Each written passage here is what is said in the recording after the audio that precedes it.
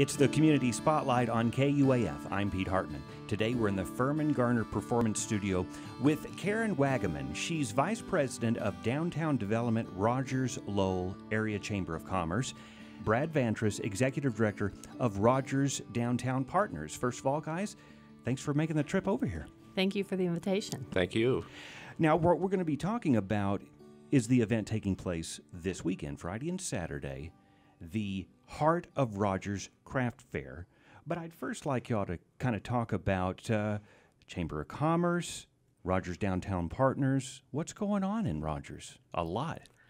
There is a lot going on in downtown Rogers. The Rogers Lowell Area Chamber of Commerce brought me on board about a year and a half ago to focus on economic development in downtown Rogers, to shepherd the master plan, and to work with developers and existing building owners and potential businesses um, to kind of in, in, invigorate, reinvigorate downtown Rogers. So um, art is a big part of that, and that's why I'm excited to be involved with the third annual craft fair. Uh, Rogers Downtown Partners put this together in the first year is basically just um, artists in shops. Right. Where, they were either just hosted on the street um, or actually in somebody's in some merchant location.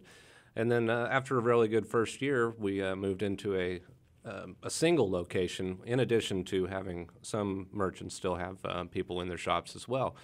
Uh, now, in our third year, we're up to two locations. That's right. It's Yeah. a split venue type Yes, it thing. is, and we've probably, I would say, close to tripled our, our artists from the first year, and uh, it's become known as a destination. It's the Haas Hall Academy Okay. uh, on Poplar Street there in Rogers downtown, and the First United Methodist Church. They'll both be running from uh, nine to seven on the craft, um, craft and art uh, exhibits, and then. Um, an interesting note, and um, we're going to be doing some um, additional posting and stuff about this, is some historic tours are going to be given. The Haas Hall Academy is in the old Lane Hotel, Okay. which was recently restored.